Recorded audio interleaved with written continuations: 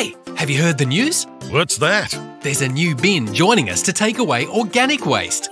That's right. I'm your new green bin for FOGO. What's FOGO? I'm for food organics and garden organics. And I'm going to save around 50% of what goes into landfill.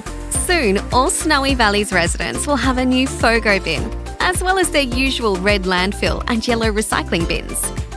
Wait, so there's even less for me?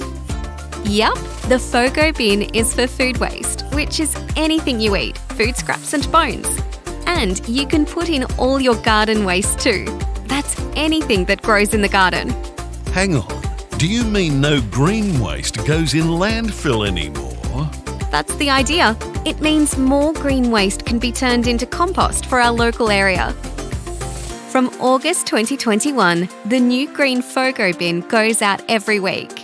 And the yellow recycle bin and red landfill bin take turns to go out every fortnight. Sounds easy.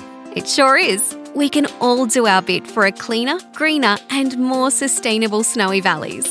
Let's work together towards zero waste.